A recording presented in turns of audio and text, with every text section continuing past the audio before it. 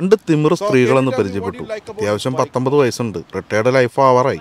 പക്ഷെ ഇവർ ഭർത്താവിന്റെ ബൈക്ക് എടുത്തുകൊണ്ട് കറങ്ങാൻ ഇറങ്ങിയേക്കാം. അപ്പം ഞാൻ ചോദിക്കുന്നത് ഈ ഒരു ഇന്റർസെപ്റ്റാറിൽ ഇഷ്ടപ്പെട്ട ഫീച്ചർ എന്താണെന്നുള്ളതാണ് അപ്പോൾ അവർ പറഞ്ഞു അവർക്ക് ഇഷ്ടപ്പെട്ട ഫീച്ചർ ഇതിന്റെ സൗണ്ടാണ് ഇവരുടെ ഭർത്താവിന്റെ വണ്ടിയാണ്. രണ്ടുപേരും മാറി മാറി ഉപയോഗിക്കും.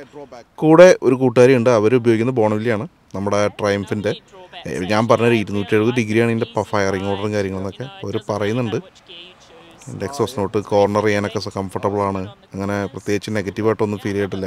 അത്യാവശ്യം ഫാസ്റ്റാണ് ഈ ഈ പുള്ളിക്കാരത്തി ഇതിനകത്ത് സാറ്റിസ്ഫൈഡ് ആണ്. പിന്നെ അവരെനിക്ക് എന്റെ എക്സോസ് നോട്ടും കാര്യങ്ങളൊക്കെ കേൾപ്പിച്ചു തരും ഇപ്പോൾ തന്നെ. അത് നമുക്കൊന്ന് കേൾക്കാം. പുള്ളിക്കാരത്തിയുടെ വണ്ടിയാണത്. വണ്ടി കിടുവാണ്. ആ അതെ അവർ ഓൺ ചെയ്യാണ്. സൈക്കിൾ വർക്ക്സ് എന്ന് പറഞ്ഞിട്ടൊരു എക്സോസ്റ്റ് ആണ് ഇതിനകത്ത് ഇറക്കുന്നത് ഞാൻ ഉപയോഗിക്കുന്നത് പവറേജ് ആണ്. എനിക്ക് പവറേജ് ആണ് കുറച്ച് സൗണ്ട് വേറൊരു വെറൈറ്റി സൗണ്ടാണ്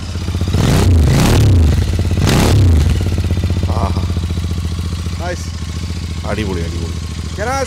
അടുത്ത bomb പുള്ളിക്കാരത്തോട് related? ചോദിക്കണ I am ഇക്വിപ്മെന്റ് bomb- വണ്ടി സ്റ്റാർട്ട് ചെയ്ത് എക്സോസ്റ്റിന്റെ സൗണ്ട് കേൾപ്പിച്ചു ആ യു ലൈക്ക് മോസ്റ്റ് അബൌട്ട് ഈ വണ്ടിയിലെ ഏറ്റവും ഇഷ്ടപ്പെട്ട ഫീച്ചർ എന്താണ്?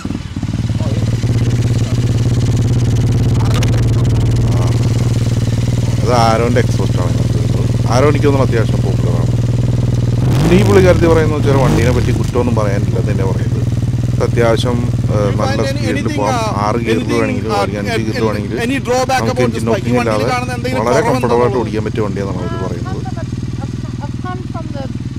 ഇവരൊക്കെ ഈ ഒരു ഏജിലുള്ള ഒരു എന്തൂസിയാസം എന്ന് പറഞ്ഞാൽ സമ്മതിച്ചു കൊടുക്കണം. നമ്മുടെ നാട്ടിലൊക്കെ ഒരു അമ്പത് വയസ്സ് കഴിഞ്ഞാൽ എല്ലാവരും വീട്ടിൽ റെസ്റ്റ് എടുക്കുക അങ്ങനെയൊക്കെ ചിന്തിക്കുമ്പോൾ ഓക്കെ പുള്ളിക്കാരി പറയുന്നത് പവർ ഫാസ്റ്റ് ആണ് അപ്പോൾ അതുകൊണ്ട് ഒരു കുറവില്ല കൂടുതലേ ഉള്ളൂ എന്ന് പറയുന്നത് okay thank you thank you. Yo headlight is ആ ആയിരത്തി തൊള്ളായിരത്തി എൺപത് സമയത്തൊക്കെ റോയൽ എൻഫീൽഡിന്റെ ബുള്ളറ്റ് ഇടതുവശത്ത് ഗീറുള്ള ഗീറല്ല ബ്രേക്കുള്ള മോഡൽ ഓടിച്ച് അങ്ങനെ ഒരു സ്ത്രീനെ ഞാൻ പരിചയപ്പെട്ടിട്ടുണ്ട്. ഓക്കെ ഓ ഒരു രക്ഷയില്ല കേട്ടോ ഒരു ഫാഷൻ ഇവർ ചെറുപ്പമൊന്നല്ല ഒരു ഒരു പത്തൊമ്പത് വയസ്സ് പ്രായമുള്ള സ്ത്രീകളാണ്. അപ്പോൾ ഇവർ ആ ഏജിനനുസരിച്ചിട്ടുള്ളൊരു